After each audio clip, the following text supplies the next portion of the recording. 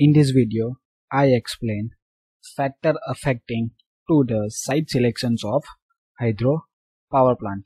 So there is a number of factors is affect to the site selections of the hydro power plants. So following factors shall be given careful consideration while selecting a site for a hydroelectric power plant. So we know that the basic working fluid used in a hydropower plant is the water. Okay. So first point is the availability of the water. Now when the water is available, then second question is arise. Where to store? Means second point is the water storage. Now after the water storage, next question is arise in our mind. Up to the which head this water is stored. Means third point is the water head. Now water is available. This water is available due to the rainy seasons. Okay. Then this question is arise from which area these water are coming. That is called as the catchment area.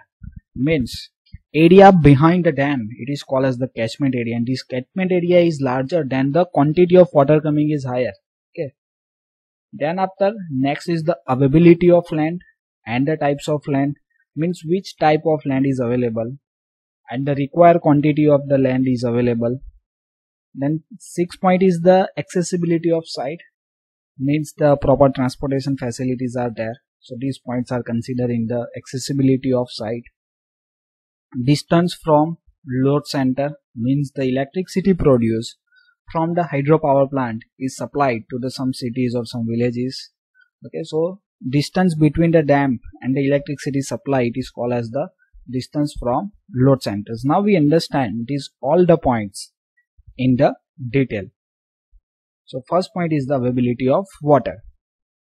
The availability of water at the site is the most important aspect of hydropower plant because all other designs are based on it. Means without water we are not able to run the hydropower plant okay? And on the basis of availability of water other factor are designed it on the basis of availability of water. Means uh, how amount of the head is available how amount of quantity of water is available. On the basis of this point the all the designs are based. In hydropower plant potential energy of water and kinetic energy of flowing water stream is utilized for generation of electric power. So these things we already know. In a hydropower plant the potential and kinetic energy of the water is used to produce mechanical energy in the turbine. And then this turbine shaft is connected with the generators. In the generator mechanical energy is converted into the electrical energy. Therefore such station should be built where there is a advocate water is available at good head and a huge quantity of water is flowing across a given point. Means we need to select such a site where water is available in good quantity and even they are stored up to the good head means we are stored the water in a dam in a higher head okay. So this type of the site is most suitable. Why these head and quantities are more required?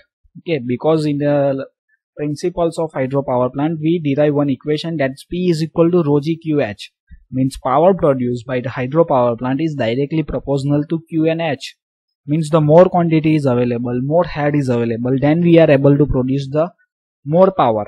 Okay that's why these points are important.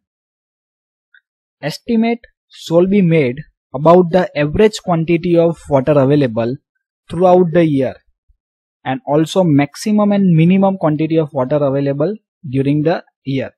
Means before selecting the sites we need to check how amount of the average water is available throughout the years.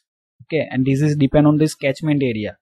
So we need to take the data from the past 50 to 100 years of the rain data. How much rains are coming in this catchment area. Okay on the basis of that they are defined the maximum quantity and minimum quantity of water available during the year. These details are necessary. Which details are necessary maximum and minimum quantity of water de details are necessary to decide the capacity of plant and to decide the peak load plant such as a steam diesels or a gas turbine plant. Generally this hydro power plant is used as a peak load power plants. Okay. And suppose they are used as a base load power plant, then we need to decide the peak load power plant that are used with the hydro power plants. And to provide adequate spillway or get relief during the flood periods. Means when the water level are increased, means the dams are overflow. At that time we require the spillway and the gate to relieve the waters. So these things are provided on the basis of the data of maximum and minimum quantity of waters. Now before moving on the second points, I request to like the video and subscribe my channels for watching the more video related to PP, FP or other subject of this mechanical engineering. For power plant engineering, various link is provided in descriptions as well as in a car. For other subject, I request to visit the playlist. Second point, water storage. Okay, so in a last point what we discuss, availability of water. Now water is available, then how we store the waters. Okay, so this is the second point is the water storage. The output of hydropower plant is not uniform due to wide variation of, of rainfall. Okay, means output of the hydropower plant is changed on the rainfall. And to have a uniform power output, water storage is needed. So that excess flow at the certain times may be stored to make it available at the time of the low flow. Means we need to construct the dam in the flow of the river and we need to store the water. To select the site of the dam careful study should be made of the geology and topography of the catchment area to see if the natural foundation could be found and put to the best use. Okay means we need to check the data of the catchment area. In a catchment area what is the minimum rainfalls maximum rainfalls okay? And we also need to do the topography analysis for water storage third point is the head of water. Means if uh, water is stored then up to which height this water is stored? That is point number three is the head of water.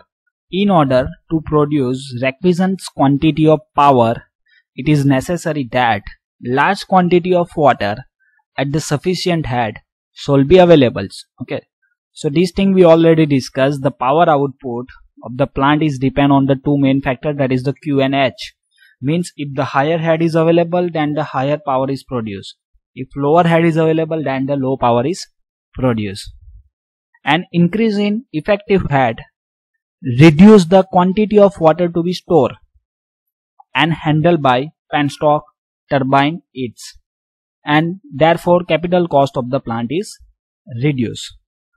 The level of water in the reservoir for a proposed plant shall always be within the limit throughout the years means level of water is available throughout the years to some minimum levels or some maximum levels. Fourth point is the catchment area. The reservoir must have a large catchment area so that level of water in the reservoir may be not fall below the minimum limit required in a dry seasons means area behind the lamp is the larger is required. Okay means the river is started from the certain place. Okay so location of the dam means distance between the dam and the origin points of the rivers are larger. That means we have the large catchment area. Okay so this is called as the catchment area means larger the catchment area more water is coming. Okay smaller the catchment area the quantity of water available is the lowers. Next point is the availability of land and type of land. The land to be selected for the site should be cheap and rocky in order to withstand the weight of the dam large building and heavy machineries okay? So when we construct the dam the weight of the dam is very high okay? Because lots of concrete and steel are used to construct the dam okay? So available land have a proper stand means the rocky lands are required and the land is available at the lower cost.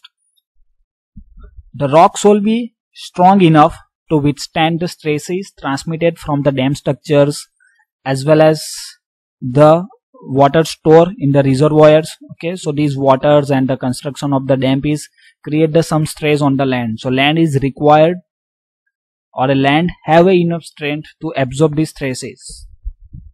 That's why the good train is required and the land available required at the low cost. Sixth point is the distance from the load center. So what is the meaning of load center?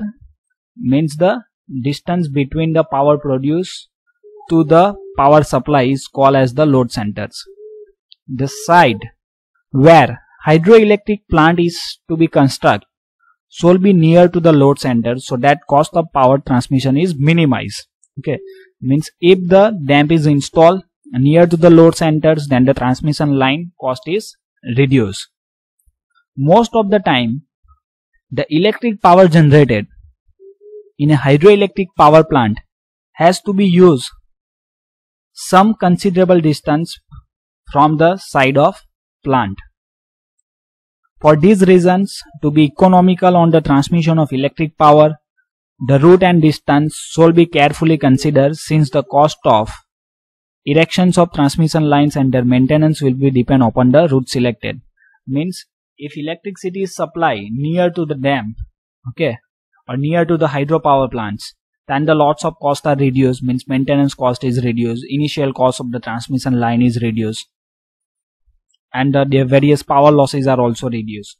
And the last point is the accessibility of site so it is always a desirable factor to have a good access to the side of the plant.